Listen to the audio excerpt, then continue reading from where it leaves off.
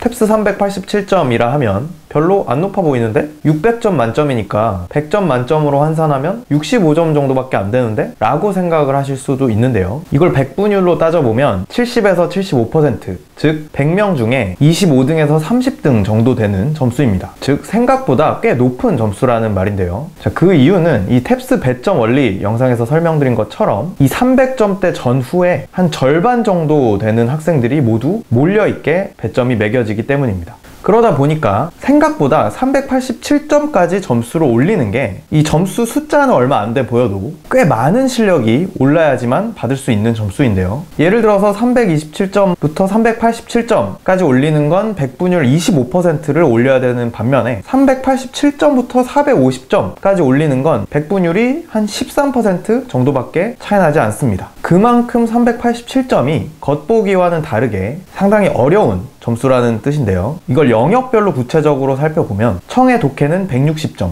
어휘 문법은 35점씩은 맞아야 달성할 수 있는 점수입니다. 어휘 문법 35점은 유형이 거의 똑같고 배점도 다 비슷비슷하니까 반타작 좀 넘게 맞히면 되는 점수인데요. 청의 독해 160점은 유형과 배점이 좀 복잡하다 보니까 대체 몇 개를 맞춰야 되는지가 애매할 수 있습니다. 이걸 배점 원리 토대로 정리를 해드리면 우선 청에는 40개 중에 딱 9개만 틀리고 31개는 맞춰야지 160점이 나올 수가 있고요. 이걸 유형별로 보자면 요 9문제를 제외한 나머지 이 모든 문제들을 맞춰야 됩니다. 또 독해의 경우에는 35문항 중에 딱 9개만 틀리고 26개를 맞춰야 되고요. 이걸 유형별로 보자면 이렇습니다. 생각보다 엄청 많이 맞춰야 되죠. 이것 또한 탭스 배점 원리상 내가 틀리는 어려운 문제일수록 배점이 훨씬 높게 책정이 되기 때문입니다. 자, 그런데 이 중에서도 지금 387점을 목표로 하신다면 현재 한 200점에서 300점대 초반 정도이실 텐데요. 그럼 이미 이 대다수의 쉬운 문제들은 마치고 계실 거고 반대로 이 아홉 문제들은 애초에 목표 달성에 필요가 없기 때문에 딱 요 가운데에 있는 이 문제들을 마칠 수 있게 되는 공부를 하셔야 됩니다. 이 387점을 목표로 하시는 수험생분들은 대부분 영어를 공부해 본 경험, 특히 수능이나 토익 같이 다른 영어 시험을 공부해 본 경험이 꽤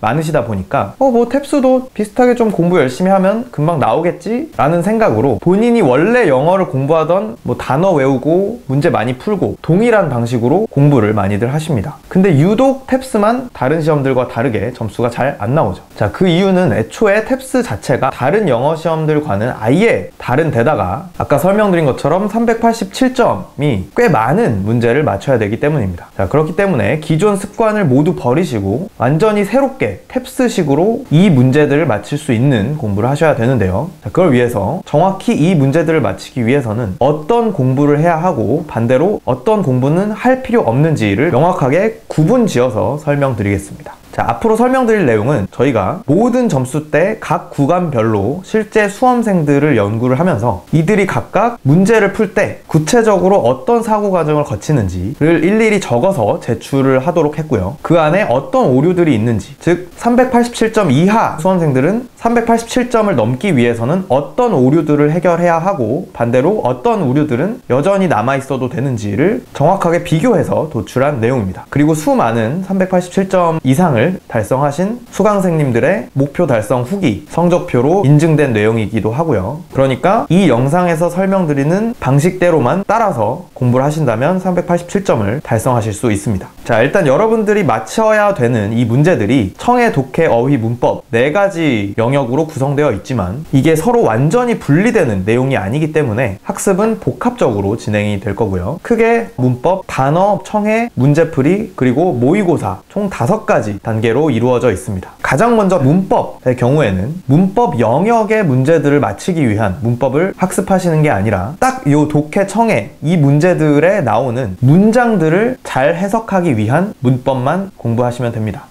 즉 철저하게 독해를 위한 문법을 학습하시면 되는데요. 어떤 문법을 학습하시든 가장 기본은 무조건 그 문장의 주어와 동사를 모두 찾는 건데요. 이 주어 동사를 찾는 걸 어렵게 만드는 이 사이사이에 들어가 있는 이 수식어들의 구조를 학습을 하시면 됩니다. 그래서 어디까지가 수식어고 그 수식어는 무엇을 수식하는지 그 수식 대상을 찾으시면 되는데요. 크게 9가지 정도입니다. 가장 첫 번째 방해 요소는 바로 동사가 변형된 수식어입니다. 이 탭스에 출제되는 좀 긴 문장들을 보시면 중간중간에 이 동사의 ing, ed 혹은 앞에 to가 붙어서 동사 역할이 아니라 수식어 역할을 하는 그런 단어들을 굉장히 많이 보실 수가 있는데요. 이 해석을 위해서는 각각이 어떤 문법인지를 구분하실 필요는 없고 그냥 단지 이 동사 변형 수식어를 인지하고 뭘 수식하는지 어떤 의미로 수식하는지만 파악을 하시면 됩니다. 그 다음은 동사 A, B 구조인데요. 이 동사 뒤에 목적어가 두 개 이상 들어가 있는 경우를 말합니다. 이게 뭐 명사 명사가 될 수도 있고 아니면 뭐 명사 동사가 될 수 있는데요. 해석을 위해서는 이게 뭐 사형식인지 오형식인지를 구분하실 필요는 없고 그냥 동사 뒤에 들어가 있는 그 두 개 대상이 각각 무엇인지를 캐치하고 어떤 의미를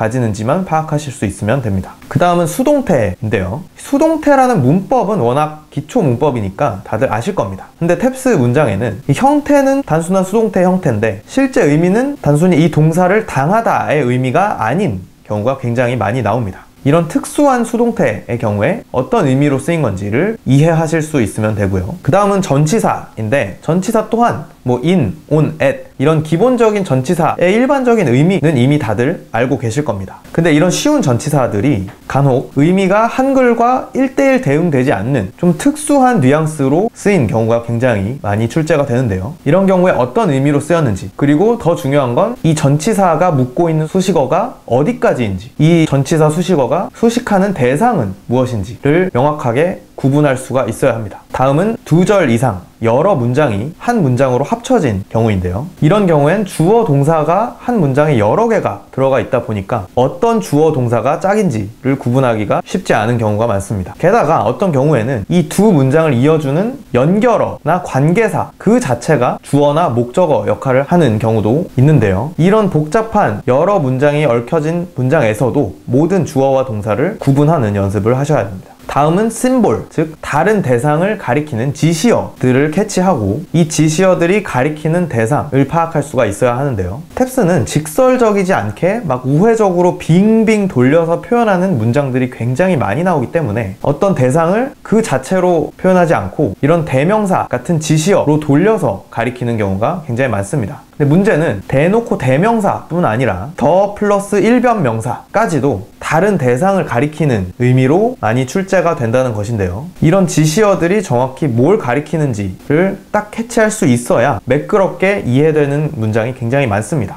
그래서 이런 심볼들을 모두 찾아서 가리키는 대상을 찾는 연습을 하셔야 하고요. 다음은 문장의 어떤 성분이 생략된 경우입니다. 근데 그 중에서도 대시나 위치 같은 관계사가 생략된 경우와 주어나 동사가 생략된 경우 딱 두 가지만 제대로 캐치할 수 있으면 됩니다. 다음으로는 평행한 구조인데요. 좀 아까 설명드린 그 여러 절이 합쳐진 문장 그리고 어떤 요소가 생략되는 경우 이 두 가지 문제가 합쳐져서 한 문장에 여러 겹겹인 구조가 중첩되는 경우를 말합니다. 네, 이런 경우에 정확하게 어디부터 어디까지가 같은 겹, 같은 수준으로 묶여 있는지를 단계별로 구분할 수 있어야 이런 복잡한 문장에서 멘붕을 겪지 않으실 수가 있고요. 마지막으로는 여러 문장 부호들의 쓰임새를 아시는 것이 중요한데요. 그 중에서도 이 탭스 문제를 푸는데 방해를 할 수 있는 부호는 딱 콤마, 하이픈, 대시, 세미콜론, 콜론입니다. 이 다섯 가지 부호들이 어떤 쓰임새로 쓰여지는지만 파악하시면 됩니다. 자, 방금 설명드린 요 문법들이 실제 문장에서 어떻게 쓰이는지만 제대로 학습해 놓으시면 독해 청해에 필요한 해석 능력을 딱 387점을 맞는데 필요한 수준까지 기르실 수가 있고요. 뭐 시제, 가정법, 도치, 관계사, 수일치 같은 굉장히 익숙한 수능 문법, 한국식 문법은 공부하실 필요가 없습니다. 애초에 이 문법들은 탭스 독해, 문장을 해석하는 데에는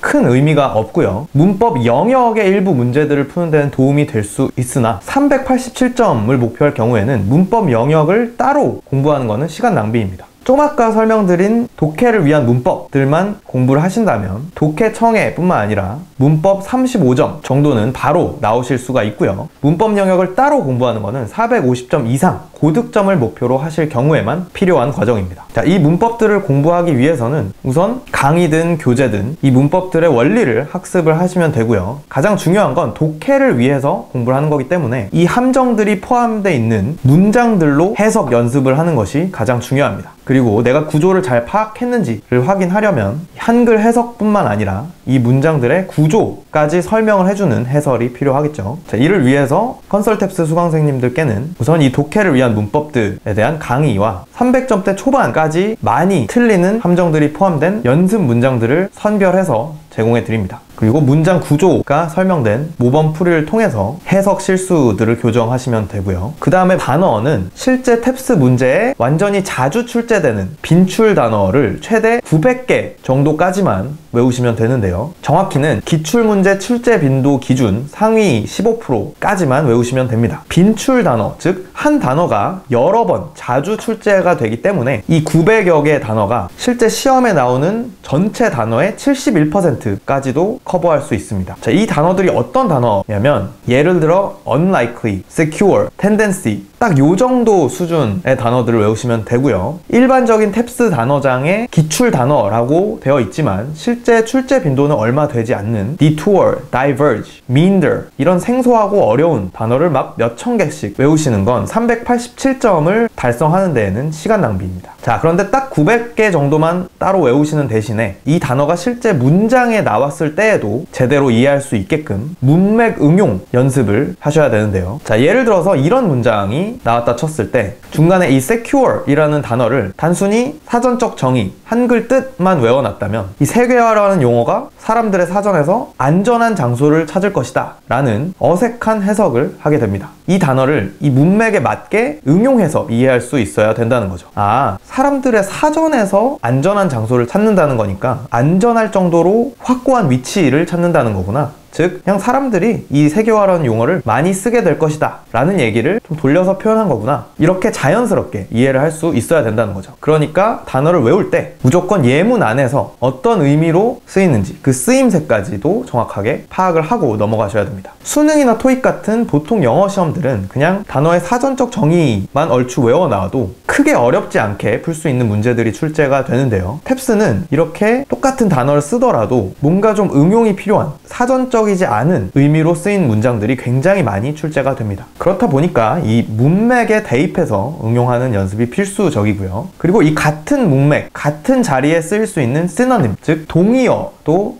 함께 외워놓으면 이 탭스 문제를 푸는데 굉장히 큰 도움이 됩니다 그 이유는 이 탭스 정답 선택지는 지문과 같은 내용을 담고 있다 하더라도 일부러 다른 단어, 다른 표현으로 말을 바꿔서 출제를 합니다. paraphrase라고 하죠. 자, 그러다 보니까 어떤 단어의 동의어나 반의어까지 연결해서 내가 외워놓았을 경우에는 이렇게 돌려 말한 선택지를 잘 캐치해낼 수가 있습니다. 자 이렇게 빈출 단어 한 900여 개 정도만 문맥에서 응용할 수 있게 그리고 동의어들까지 함께 제대로 외워놓는다면 독해 160점과 어휘 35점을 동시에 잡을 수 있습니다. 자 이걸 위해서 실제 탭스 시험 출제 빈도 순으로 단어들을 정리한 단어집으로 학습하시길 추천해 드리는데요. 최상위 900여 개 정도만 외우면 되다 보니까 많은 단어가 꼭 수록되어 있을 필요는 없습니다. 다만 방금 보여드린 것처럼 예문으로 학습하는 게 굉장히 중요하겠죠. 그러다 보니까 예문이 최대한 많은 단어집일수록 좋겠고요. 이 문장에 나와도 제대로 이해할 수 있는가를 테스트해 볼 수 있도록 이 문장에 빈칸이 뚫려 있고 단어를 집어넣는 형태의 단어 시 험까지 포함되어 있으면 최상입니다. 자, 이걸 위해서 저희 수강생님들께는 시중에 나와 있는 모든 기출 문제를 통계를 내서 정리한 상위 15% 빈출 단어 900개 자료를 제공해 드리고요. 단어 예문 버튼을 클릭하면 사전에 수많은 예문을 보실 수 있습니다. 유의어나 반의어도 함께 보시는 게 좋고요. 이미지 버튼을 눌러서 이 단어의 시각적인 그 뉘앙스를 보시면 쉽게 암기하실 수 있습니다. 그리고 1순위 그룹당 문맥 응용을 테스트할 수 있는 단어 시험을 두 개씩 제공해 드리고요. 1순위부터 17순위까지 까지는 단어들이 비교적 쉬워서 1회독만 하시면 충분할 것 같고요. 그 다음에 18순위부터 31순위까지는 어려운 단어들이 나오기 때문에 총 2회독을 하시는 걸 권장해 드립니다. 다음 청해의 경우에는 387점을 목표할 경우엔 딱 파트 1, 2의 어려운 문제들과 파트 4, 5의 쉬운 문제들에 집중하시면 됩니다. 파트 1, 2 어려운 문제들은 주로 숙어 때문에 틀리는 경우가 많기 때문에 가장 많이 출제되는 빈출 숙어 상위 8% 200개 정도만 학습하시면 되고요. 중요한 거는 청해 문제 나왔을 때 이해할 수 있도록 예문을 들으면서 암기를 하셔야 합니다. 그리고 파트 4, 5 쉬운 문제의 경우에는 많은 수험생분들이 안 들린다 라는 어려움을 호소하시는데요. 이 안 들린다는 현상의 원인을 좀 세부적으로 쪼갤 필요가 있습니다. 크게 봤을 때 발음이 안 들리거나 발음은 들리는데 속도가 너무 빨라서 이해가 안 되거나 아니면 꾸역꾸역 들었는데 문제 풀 때 기억이 안 나서 총 세 가지 원인으로 틀릴 수가 있는데요. 발음 때문에 안 들리는 원인은 텝스 청해 문제에 빈출되는 연음들을 모아서 듣는 연습을 하시면 해결하실 수 있습니다. 그리고 속도가 빨라서 안 들릴 경우에는 천천히 끊어서 들었을 때는 들을 수가 있기 때문에 중간중간 끊어서 구간별로 들어보고 그렇게 해서 들릴 경우에 다시 쭉 이어서 들어보는 순서대로 듣는 연습을 하시면 됩니다. 그리고 텝스 청해 문제는 유독 시험지에 쓰여 있는 내용이 하나도 없기 때문에 기억이 안 나서 틀리는 경우도 꽤 많은데요. 이걸 위해서는 지문을 들을 때 간략하게 note taking을 하는 연습을 하시는 게 굉장히 중요합니다. 특히나 청해 파트 4, 5의 경우에는 어렵지만 지문을 두 번씩 들려준다는 특징을 가지고 있죠. 그렇기 때문에 이 두 번의 기회 각각 역할을 나눠서 어떤 내용들을 note taking을 하는지를 유형별로 연습하실 필요가 있습니다. 자, 빈출 숙어와 빈출 연음은 따로 리스트를 통해서 암기를 하시면 되고요. 끊어서 듣는 연습과 note taking 연습은 직후에 설명드릴 문제풀이 단계에서 함께 병행해 주시면 됩니다. 참고로 많은 수험생분들이 하고 계시는 shadowing이나 dictation의 경우에는 387점을 목표로 하실 경우에는 하실 필요가 없는데요. 일단 shadowing 같은 경우에는 듣는 걸 넘어서 말할 수 있게까지 하는 거기 때문에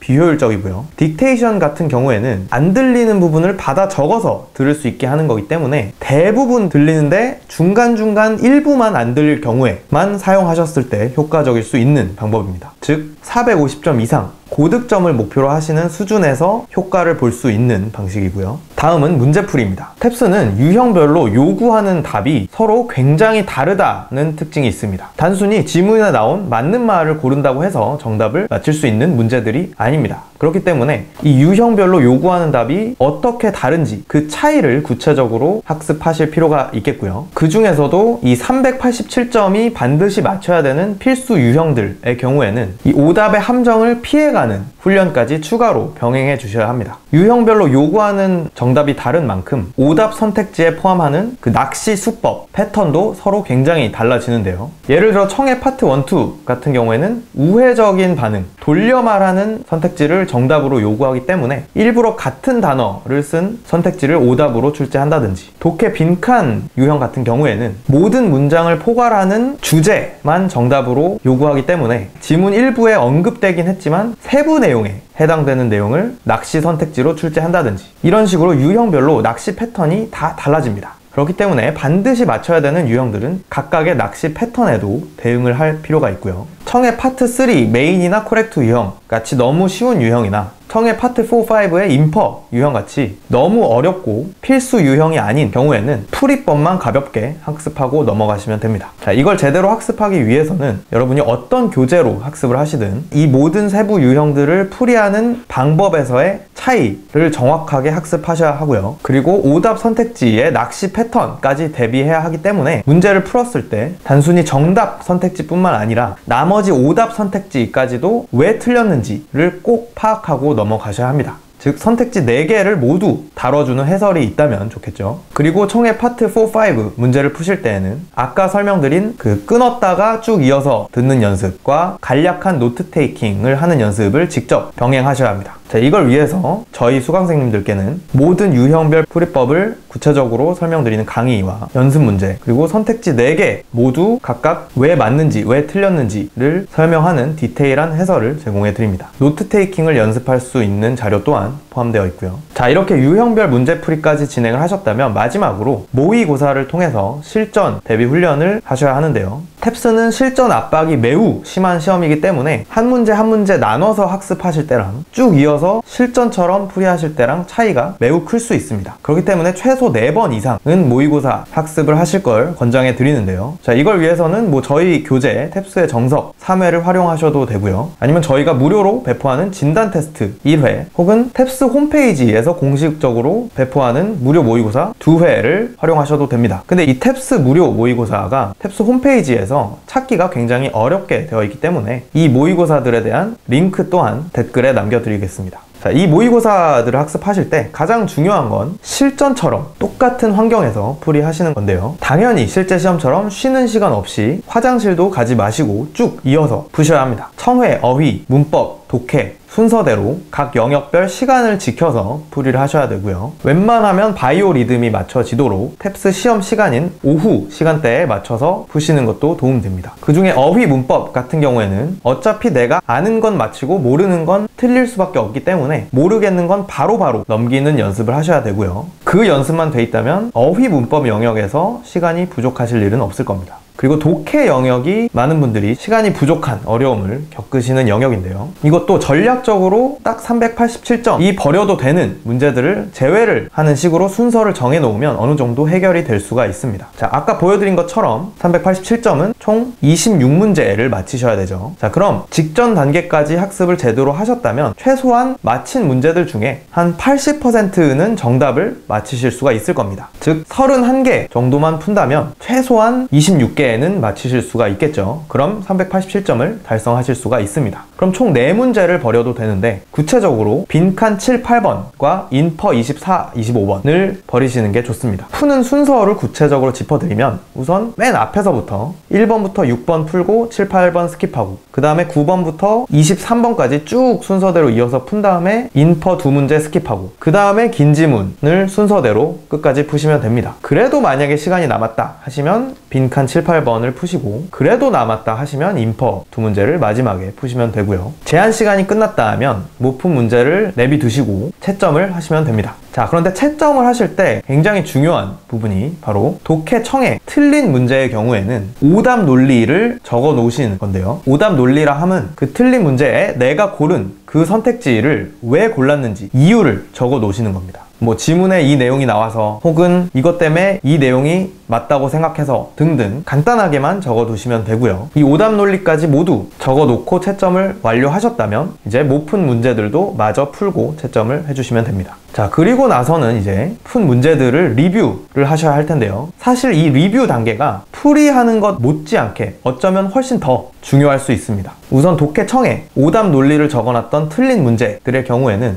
이제 찬찬히 살펴보면서 내가 이 문제를 왜 틀렸는지 그 원인을 끝까지 파악해내는 겁니다. 일단 아까 적어놓은 오답 논리로 내 생각이 이어지게 된 원인을 찾아야겠죠. 예를 들어서 어떤 문장을 잘못 해석했다든지 어떤 단어를 몰랐다든지 아니면 논리적으로 어떤 오류를 범했다든지 이런 이유들을 천천히 살피면서 파악해 보시는 겁니다. 이때 일단 첫 시도는 최대한 해설을 안 보고 스스로 해보시는 게 좋습니다. 해설을 먼저 보게 되면 마치 이 문제를 이제 이해했다는 착각이 들게 할 수 있기 때문에 실제로 내가 틀린 원인이 교정되지 않은 채로 다음 문제로 넘어가게 되어버릴 수가 있기 때문입니다. 그러니까 최대한 해설 없이 이해가 안 된다면 일단 사전으로 모르는 단어를 찾아가면서 원인을 파악해 보시고요. 어휘 문법 틀린 문제들은 그냥 눈으로만 왜 틀렸는지 정도만 리뷰하고 넘어가시면 됩니다. 실제 풀고 채점하는 시간은 한 3시간 정도 걸리셨다면 이 리뷰하는 단계는 어쩌면 훨씬 많이 한 7, 8시간 정도까지도 소요되실 수가 있는데요. 절대 오래 걸리는 거 아니고 꼭 필요한 단계니까 반드시 거쳐 주시길 권장해 드립니다. 자, 그리고 모의고사 학습을 하실 때 할 필요 없는 건 이 독해를 한 문제 한 문제 타이머를 재면서 속독 훈련을 하는 것인데요. 이 속독 훈련이라는 거는 내가 억지로 빠르게 이해하는 연습을 하는 것입니다. 근데 이렇게 인위적으로 일부러 빠르게 읽으려고 하면 어차피 내가 이해할 수 있는 속도는 정해져 있기 때문에 오히려 역효과가 날 수가 있습니다. 즉, 이해도 안 되고 빨리 읽혀지도 않는 그런 상황인 건데요. 이럴 경우에는 근본적인 이해력을 늘려야지만 속도가 빨라질 수가 있습니다. 즉, 내 독해 속도를 늦추는 병목들을 하나씩 제거를 하면 되는데요. 앞서 설명드린 이 단어를 문맥에 맞게 바로바로 바로 유연하게 이해하는 연습, 그리고 주어, 동사, 수식어를 빠르게 빠르게 구분하는 연습, 문제 유형별로 풀이법대로 딱딱 물 흐르듯이 문제를 푸는 연습, 이런 연습들을 잘 진행하신다면 버리는 시간이 없어지게 됩니다. 그리고 남아있는 수험 기간 동안 시행되는 정기 시험은 최대한 모든 시험을 응시하시는 걸 권장해 드립니다. 자, 그 이유는 일단 실제 시험을 보는 것 자체가 실전 훈련이 되기 때문이기도 하고요. 이 탭스라는 시험은 회차별로 편차가 굉장히 크기 때문에 387점이 맞춰야 되는 문제들이 매 회차마다 달라질 수가 있습니다. 그렇다 보니까 어느 시험에 나한테 유리한 문제들이 출제가 될지가 불확실하다는 것입니다. 그렇다 보니까 가능성을 최대한 높이려면 최대한 시도를 늘리는 게 좋겠죠. 자, 그래서 387점을 달성하기 위해서 해야 하는 공부를 빠르게 요약을 해보자 면 우선 문법은 철저히 독해를 위한 문법 주어 동사 찾기, 동사 변형 수식어, 동사 A, B, 수동태 특수한 경우, 전치사 수식어, 어디까지인지와 수식 대상, 두 절 이상 합쳐진 문장, 심볼과 가리키는 대상, 관계사나 주어 동사 생략된 경우, 평행한 구조, 그리고 문장 부호들 이것들만 학습하면 된다. 단어는 실제 텝스 문제 출제 빈도 기준 상위 15% 900개 정도를 문맥 응용 연습과 동의어와 함께 학습하면 된다. 청해는 파트 1, 2는 빈출 숙어 상위 8% 200개, 파트 4, 5는 빈출 연음, 끊어듣기, 간략한 note taking 연습으로 발음, 속도, 기억 문제를 해결하면 된다. 문제 풀이는 텝스 특유의 유형별로 각기 다른 풀이법들과 387점 필수 유형들의 오답을 소거하는 훈련을 하면 된다. 마지막으로 모의고사는 최소 4세트 이상을 완전히 실전처럼 풀이하고 내가 틀린 원인을 끝까지 찾아내는 리뷰 학습을 진행하면 된다. 이렇게 정리해 볼 수가 있겠고요. 딱 이것만 편하게 효율적으로 학습하실 수 있도록 컨설텝스에서는 387점 맞춤형 커리큘럼을 제공합니다. 공부하면서 모르겠는 건 언제든지 1대1 컨설팅을 통해서 해결하실 수 있고요. 어떤 질문이든 무제한 하실 수 있습니다. 자, 그리고 할 필요 없는 것도 정리를 해드리면 생소한 단어 몇 천 개씩 무한대로 암기하는 것, 시제, 가정법, 도치, 관계사, 수일치 같은 한국식 문법 혹은 문법 영역을 따로 공부하는 것, dictation이나 shadowing으로 청해 공부, 청해 파트 3 main correct나 파트 4, 5 인퍼 유형 같이 필수 유형이 아닌 유형들의 선택지 훈련, 모의고사 풀때 독해 속독 훈련 이런 것들은 387점을 목표하실 경우에는 하실 필요가 없습니다. 자, 그리고 성적이 빠르게 필요하신 분들을 위해서 387점을 3주 만에 완성하실 수 있는 학습 계획표를 무료로 제공해 드리는데요. 방금 설명드린 이 해야 할 것들을 3주 동안 가장 효율적으로 학습하실 수 있도록 배치했습니다. 댓글 링크로 달아드렸고요. 이 계획표는 일단 3주 동안만큼은 하루 종일 투자한다는 전제로 짜여져 있습니다. 아까 설명드린 것처럼 원래 387점은 생각보다 상당히 높은 점수죠. 보통 영어 시험처럼 뭐 암기식 해설 방식으로 공부하면 몇 달 동안 해도 점수가 나오지 않는 그런 경우가 생각보다 상당히 많습니다. 공감하시는 분들도 많을 거예요. 그런 어려운 점수대를 3주 동안 만에 하려면 최소한 하루 종일 텝스에 올인을 하셔야겠죠. 근데 만약에 내 스케줄상 하루 종일 공부할 시간이 안 난다 하실 경우에는 이 동일한 계획표를 본인의 스케줄에 맞게 나눠서 학습을 하시면 됩니다. 예를 들어 1일치를 뭐 이틀에 나눠서 하든 뭐 3일에 나눠서 하든지 뭐 이런 식으로 나눠서 진행하시면 되겠죠. 자, 그리고 컨설텝스 수강생님들은 각 학습에 해당되는 자료들이 모아져 있는 페이지 링크를 각 항목별 아래에 배치해 드렸습니다. 딱 387점 구간에 필요한 공부만 효율적으로 하셔서 한 번에 목표 점수 달성하시기를 바라겠습니다. 감사합니다.